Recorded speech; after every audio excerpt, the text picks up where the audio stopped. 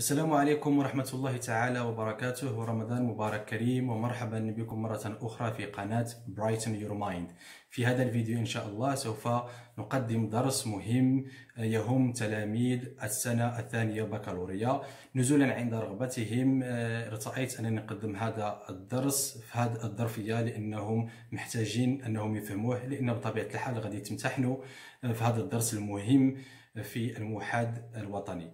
هذا الدرس اسمه باللغة الإنجليزية The Active and Passive Voice أو ما يطلق عليه بالعربية المبني للمعلوم والمبني للمجهول. فبطبيعة الحال هذا درس مهم وبصراحة في علاقة بعلاقتي مع التلاميذ والطلبة تلقاو مشاكل كثيرة في التعامل مع هذا الدرس خصوصا أنهم كتختلط لهم المفاهيم وكتختلط لهم مع دروس أخرى وبالتالي كيحسوا بأن هذا الدرس صعب الفهم بزاف.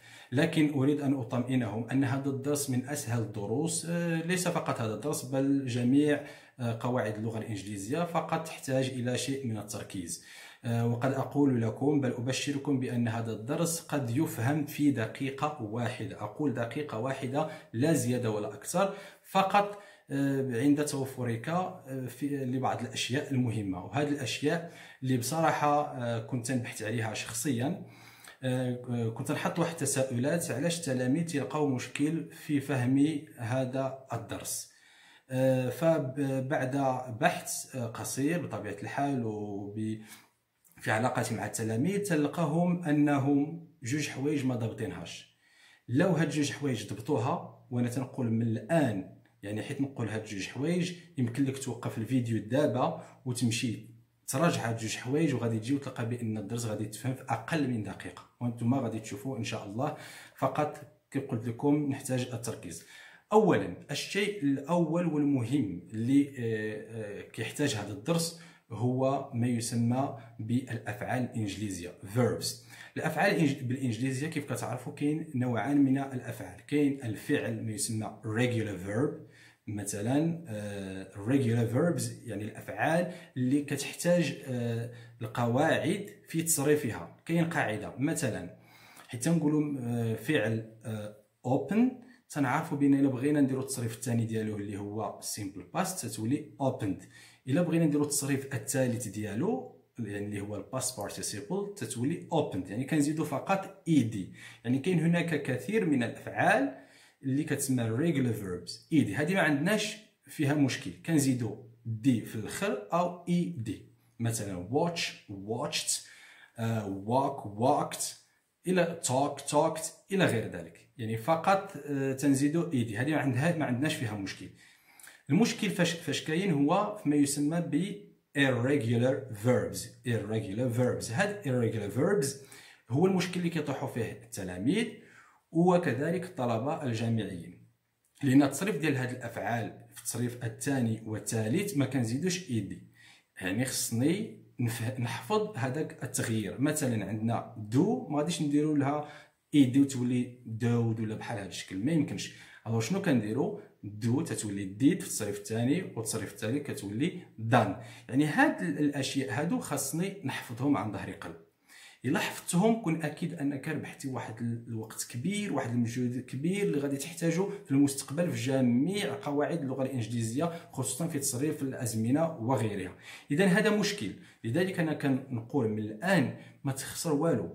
عندك الليستا في لوكسفورد ديالك يعني الكتاب ديالك ديال آه، الإنجليزية أو أي كتاب اللغة الإنجليزية في اخر الصفحات غادي تلقى هاد la liste هذه فبالتالي نحفظها. تقول ليش راه ما عنديش الوقت؟ شحال كاينة في هذه ثلاثة الصفحات كل نهار نحفظ سيدي غير نص صفحات سيمانه غادي نساليهم. إلا عطيتهم بطبيعة الحال وكنت مجتهد ودرت مجهود فساعة في النهار نساليهم. ما قلناكش حفظهم ولكن فقط نطلع عليهم. باش إلا شفت سبيك ما غاديش ندير لها سبيكد مثلا. لا أنا عارف بان غادي تولي سبوك وفي التصريف الثالث غادي تولي سبوكن وقس على ذلك في الأفعال الأخرى. لذلك باش يجيكم هذا الدرس أو غير هذا الدرس سهل نمشي نحفظ irregular verbs أنا شخصيا في تعاملي مع التلاميذ والطلبة حتى نوصل لتصريف الأفعال أو قواعد هكا ما كندوز هذاك الدرس حتى تيحفظوه. علاش؟ لأنهم أنا عارف الأهمية ديال آه، تصريف هذه الأفعال. واذا جاك شي فعل آخر من غير هكا فبطبيعة الحال ما كانش في هذيك لا ليست راه كنزيد له إيدي. لذلك أؤكد irregular verbs نحاول نحفظه راه مسألة ديال تنظيم وقت فقط. عشر دقائق في النهار شحال في نظرك غادي نطلع عليها من كلمة؟ غادي نطلع على أكثر من حتى 30 كلمة. يعني سهل جدا. ولكن التماطر وكتخلعكم ديك لا ليست وتشوفها كثيرة كتقول لا أنا في النهار نعتبر عندي غير 20 كلمة. غادي السيمانة 10 أيام غادي نكون حفظتها غادي نتهنى في جميع علاقاتي مع الجرامير أو التصريف. هذا جانب. يعني واحد هو irregular verbs نضبطهم. ثانيا الحاجة الثانية شكون هي؟ هو verb to be.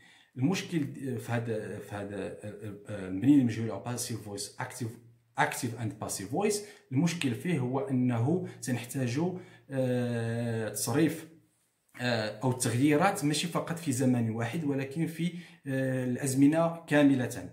هنا غادي نهضروا على بعض الأزمنة اللي ما تحتاجش أنهم كنا نديروا فيهم ال passive voice ولكن محتاجين الأزمنة تقريبا كاملين 12 الأزمنة.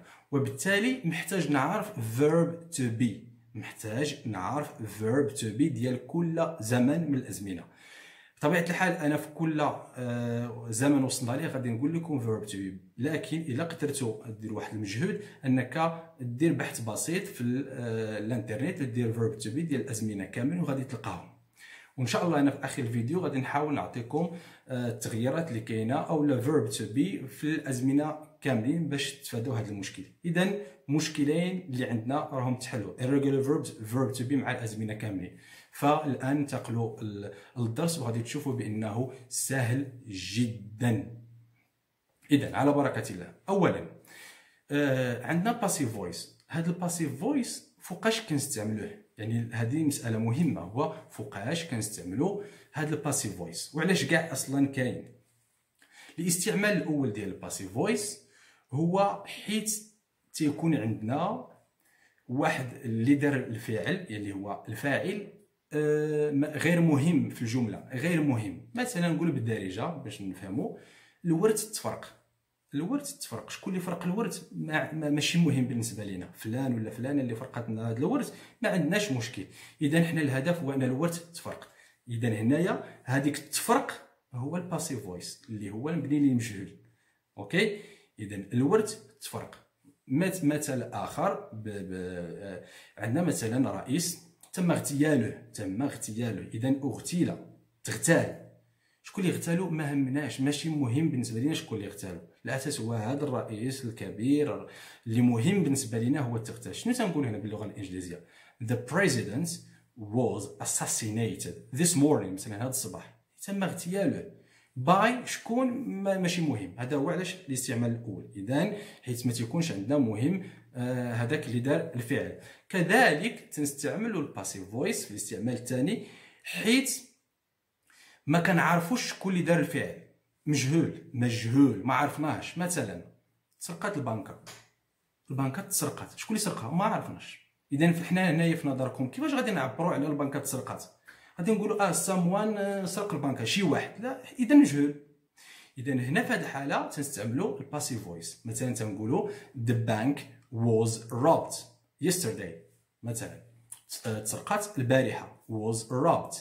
هذا passive voice وكذلك هناك استعمال ثالث وهو أن في في استخدام ال passive voice في اللغة الإنجليزية يكون تكون الجمل مختصرة. لذلك يحتاج الإنجليزيين كثيرا يستعملون في الحياة اليومية ديالهم لأنه يعطي جملا مختصرة. وكما نعرف كما نعلم بأن تعلم اللغة الإنجليزية آه، معروف عليها الاختصار و to the point من آه، تمشيو مباشرة للكلام. فحتى آه، في الرسائل وهذا موضوع آخر ما كنلقاوش هذيك المقدمة السلام عليكم أنا جيت سعيد لأخذ هذا القلم الأزرق في كت في الليل يعني هذه الدخله باللغة الإنجليزية direct تتمشي للموضوع مباشرة.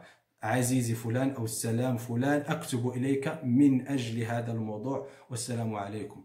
ما كنكونش كثير الهضرة. المهم هذا موضوع آخر يمكن نهضر عليه في الجانب ديال ال writing إذا عندنا ثلاثة الحوايج معروفة. الآن ننتقل إلى ما هو عملي. كيفاش؟ يمكن لي نغير واحد sentence آه، جملة من ال active okay to the passive يعني كنغيرها من المبني للمعلوم المجهول. حنا ناخذوا واحد الجملة ونقيسوا عليها بجميع الأزمنة باش ما نتلفوش. الجملة هي كالتالي وهي جملة معروفة ومتداولة. I do my homework. I do my homework. أقوم بواجباتي بطبيعة الحال المنزلية. هذه I do my homework تتكون هذه الجملة من فعل وفاعل ومفعول به. الفعل أو subject زائد verb زائد object مزيان. هذه هي المكونات ديال هذه الجملة. يعني الجملة حيت تكون في ال active voice خصها تكون فيها subject verb and object. Very good. مزيان. دابا بغينا نرجعوها لل passive voice بني للمجهول. شنو كنديرو؟ هذاك ال object كياخذ لنا البلاصة ديال my homework غادي نرجعوه. مزيان. my homework شنو عاود خصنا هنايا؟ زائد verb to be. إحنا هضرنا على verb to be في البداية. مزيان. أش من verb to be verb to be راه كاين 12 الأزمنة. هذا سؤال مهم. Verb to be ديال في الزمن اللي كاينة عليه الجملة الأصلية اللي هي في ال active voice. صافي؟ هاد الجملة I do my homework أش من زمان؟ بطبيعة الحال present simple. مزيان شكون هو verb to be في present simple verb to be في present simple هو am ولا is ولا are. داكشي واش تنقولوا I am you are he is she is إلى غير ذلك. مزيان شنو غادي نحطو هنايا؟ واش نحطو is ولا am ولا are بطبيعة الحال غادي نحطو is. علاش؟ حيت my homework. It مزيان. Very good. شنو غادي نزيدو آخر؟ غادي نزيدو الباست participle of the verb اللي هو التصريف الثالث ديال الفعل. مزيان هذا الفعل هذا واش do regular verb ولا irregular verb بطبيعة الحال irregular verb. يعني هذيك لا ليست. إحنا عاود رجعنا المشكل الثاني اللي عندكم اللي هو irregular verbs. مزيان دو شنو كتقول لنا في التصريف الثالث؟ done. إيوا ومن بعد صافي. الجملة سالت. My homework is done. هذا هو passive voice. لا يحتاج حتى دقيقة. I do my homework. My homework is done. By me بلا ما تزيدها. هذيك by من طرفي. إلا كان هذاك اللي قال الفعل في, ال active voice ضمير pronoun بلا ما تكتب by me ولكن إلا كان معرف مثلا نقولوا سارة does her homework يمكن لك تقول by سارة. إلا كان معرف. ما كانش معرف لا. حتى إلا ما درتهاش مقبول. وعندك نقطة جيدة. الأساس والمهم في هذا الدرس واللي كيحاسبوا عليها هو هذا التصريف. verb to be plus past participle. صافي؟ هذه سهلة. نعطيو نفس المثال مع زمان آخر اللي هو مثلا present continuous. Very good. نفس المثال. I am doing my homework. أنا تنقوم بالواجبات المنزلية ديالي الآن now. لحقاش present continuous تنستعمل حاجة now. هذا إن شاء الله غادي ندير سلسله خاصة على طريق على الاستعمالات ديال الأزمنة كاملين ب 12 في اللغة الإنجليزية. متى وكيف تستعملهم المهم دابا حنا نشوفوا غير القاعدة لأنكم في هذه اللحظة محتاجين تهضروا محتاجين تمتحنوا فيما هو كتابي وبالتالي التعامل مع الكتاب. uh, I am doing my homework. Subject هو أوكي عندنا I am وعندنا do uh, I plus the verb I'm doing plus uh, the object اللي هو my homework. مزيان أش من زمان هذا؟ Present continuous. Very good. القاعدة. ال object ياخذ لنا البلاصة ديال ال subject okay my homework غادي نرجعوها لل subject ايوا شنو آخر؟ verb to be شمن verb to be verb to be ديال هاد le temps اللي كاين في ال active voice المشكل اللي تيوقع لكم وخصوصا صحاب البكالوريا هو أنه تيقول كان هذا ال passive voice ما بغاش يدخل للدماغ واخا أنه كيعرف هاد irregular verb وبعض الأحيان كيعرف حتى verb to be كيختلط ليه مع واحد الدرس اللي سميتو reported speech باش نحسموا هاد المسألة هذه reported speech يتغير الزمن. مثلا present تتولي لنا past. Present continuous تتولي لنا past continuous وغيرها. يعني يتغير الزمن. فال passive voice لا يتغير الزمن. كنحافظوا على verb to be في نفس الزمن ديال ال active voice مفهوم؟ وعقلوا على هذه. active voice تيبقى verb to be تيبقى نفسه. الزمن لا يتغير في ال passive voice reported speech يتغير. قيدوها بهذا الشكل وغادي تظهر غادي تحسوا بالفرق. إذا نرجع. كيف قلنا عندنا present continuous. I am doing my homework. غادي تولي my homework. شنو قلنا القاعدة؟ plus verb to be. واخا. Verb to be ديال شنو؟ ديال present continuous شكون هو؟ Is being. Is being. واحد المسألة هنا تردوا لها البال باش تساعدكم حتى في في التذكير. أو التذكر هي أن دائما حيت تسمع شي tense يعني زمن فيه continuous ولا progressive عرف بان فيه ing. okay؟ I'm doing I'm watching I'm giving I'm, I'm, uh, I'm preparing إلى غير ذلك. عارف بان كاينة ing. مازال حتى verb to be فيه ing. اذا هنايا هنايا present continuous. اش قلنا my homework غتولي is being is being ولا are being بطبيعه الحال غادي ندير هنا is being حيت my homework it's so my homework is being شنو اخر plus past participle of the verb is being done اللي هو uh, verb do very good صعيب ما صعيبش ننتقلوا لمثال اخر ودابا غادي نحاول نسربي شي شوية باش uh, تعرفوا التغييرات اذا عندنا كذلك past simple past simple I did my homework subject verb did and object my homework object ياخذنا البلاصه ديال subject my homework plus verb to be اش من tense اش من زمن هو simple past لحقاش عندنا جمله في الاكت في الاكتيف فويس في simple past شكون هو الفيرب to be في simple past هو was ولا were very good غادي ناخذ هنايا was علاش حيت my homework it's so my homework was plus past participle of the verb was done صعيبه so my homework was done okay it's done let's move on to next tense نهضروا على مثلا past continuous past continuous I was doing my homework okay شنو عاوتاني عندنا هنايا غادي نهزو my homework تولي subject past part plus verb to be ديال verb to be في past continuous اللي هو was being ولا were being was being ولا were being plus past participle of the verb do so my homework was being done صعيبه يعني ما يحتاجش حتى نصف ما حتى 10 ثواني ننتقل إلى مثال اخر مع زمن اخر أو زمن اخر نهضروا على present perfect present perfect I have done my homework. Subject plus the verb have done plus um, my homework objects. The object ياخذنا بلاصة subject. My homework very good. هنا خصنا verb to be ديال uh, في ال present perfect. Verb to be في ال present perfect هو has been ولا have been. so هنا غادي نديرو بطبيعة الحال has اللي كتماشى مع my homework. My homework has been done my homework has been done very good صعيب لا بطبيعة الحال إذا ننتقل إلى مثال آخر past perfect I had done my homework I had done my homework my homework خصنا هنا عاوتاني verb to be في past perfect my homework had been had been هو هو past perfect ديال verb to be هنايا past perfect verb to be تتبقى دائما هاد ماشي بحال present perfect has ولا have هاد ما تتغيرش. مع جميع جميع الضمائر. So my homework had been done. My homework had been done. ننتقل لمثال آخر مع future simple يعني مستقبل. I will do my homework. I will do my homework. My homework خصنا verb to be. ديال من؟ ديال future simple اللي هو will be. Will be مع جميع الضمائر لا يتغير. So my homework will be plus past participle of the verb do اللي هو done. So my homework will be done. صحيح هذا الدرس؟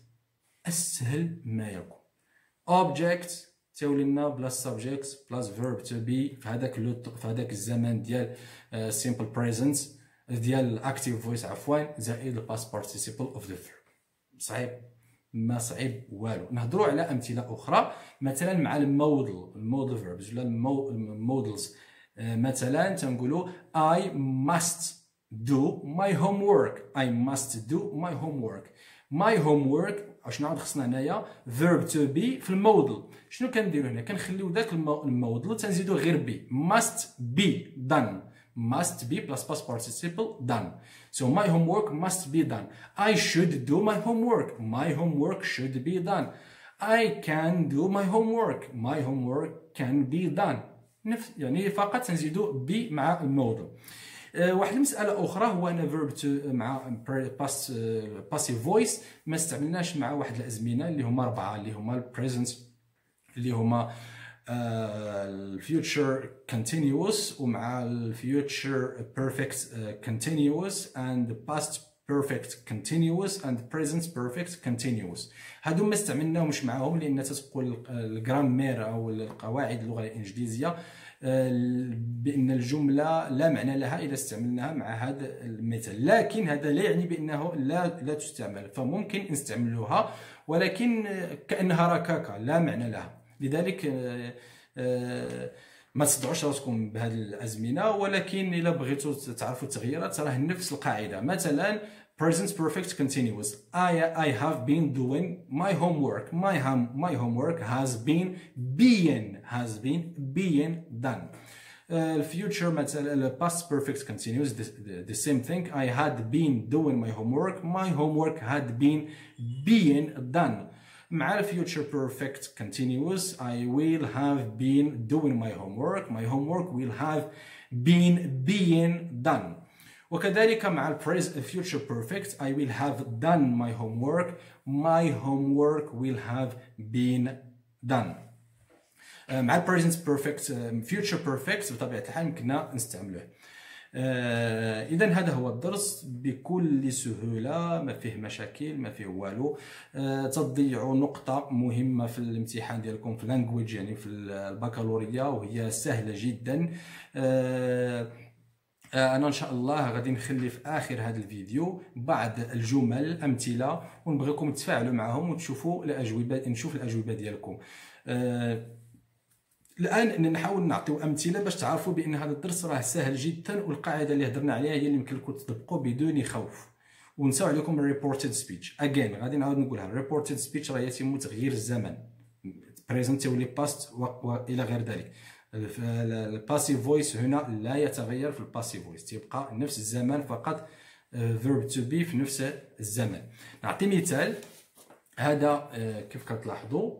آه، امتحان البكالوريا الوطني 2018 في اللغة الإنجليزية مسلك الشعب الشعب العلمية والتقنية والأصيل والأصيلة. نشوف واحد المثال حاطينه هنايا. سؤال اللي تيقول لك rewrite the sentences beginning with the words given. وكيعطيك الجملة وتتبدأ بحال عطاك مثلا I do my homework وعاطي الجملة بادية ب my homework. فبطبيعة الحال هنا كتفهم بأن هذا راه passive voice لأن ال object رجع لنا لل passive آه غادي نشوفوا مثال اللي عاطين هنايا students students نحاول نكتب لكم مثال students will complete the first module in three weeks time وعاطينا الجمله كتبدا the first module يعني the first module شنو غاد شنو عندنا في الجمله الاصليه students will complete هذا future simple شنو قلنا غادي تولي the first module خصنا verb to be ديال هذا الفعل اللي هو will be okay will be completed okay will be completed uh, uh, now so uh, the first module will be completed in three weeks in three weeks of course يمكن لك تزيد by students ها نقطة تضيعوها سهلة مهلة كيف كنقولوا بالدارجة المغربية نشوفوا مثال آخر مع تمرين آخر rewrite the sentences as suggested Uh, an NGO group has built some schools in this province. Has built has built هذا في ال present perfect. مزيان وعطينا الجملة ب some schools. يعني ال object حولوا لنا ال subject شنو غادي نديرو هنا؟ Some schools. ما تنساوش بأن حيت نديرو verb to be خصو يكون تطابق مع ال subject الجديد. مثلا an NGO group has built. راه هنا درنا has حيت an NGO ولكن دابا رجعت لنا some schools plural ما غاديش نديرو has غادي نديرو have okay have يعني شنو خصنا نديرو verb to be في ال present perfect اللي هو has been ولا have been هنا غادي نديرو have been علاش؟ حيت راه عندنا بطبيعة الحال some uh, schools عندنا بطبيعة الحال some schools uh, إذا شنو غادي نديرو هنايا؟ some schools yes غادي تولي لنا الجملة. Some schools have been okay built. Some schools have been built. Some schools have been built. built يعني هو الفعل ديال build ال past participle ديالو هو built. ها أنتم يعني في هذا يعني تقدر تعرف القاعدة ولكن لو ما عرفتش تصرف irregular verb غادي يكون عندك هذا المشكل. لذلك أركز وأؤكد مرة أخرى آه، استعمال irregular verbs ضروري ضروري خاصك تحفظهم وما تضيعش الوقت. So some schools have been built in this province if you want. So نتمنى هذا الدرس أنه آه، تكونوا فهمتوه والان ما بقاش عندكم مشاكل.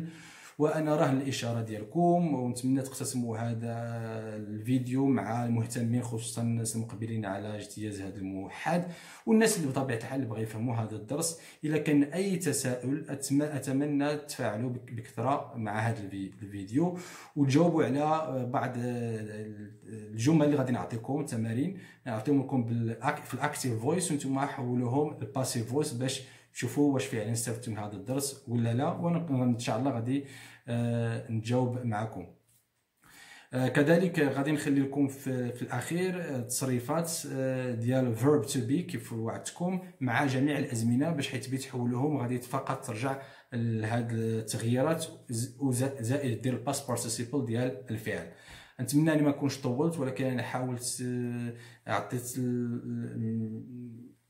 ما يمكن تقديموه من معلومات باش دائما إلا تلفتوا ولا عندكم شي تساؤل ما تقدرش تبقى تالف ولكن تقدر ترجع للفيديو وتلقى بأن راه التساؤل ديالك تم الإجابة عليه في فقرة من هذه الفقرات.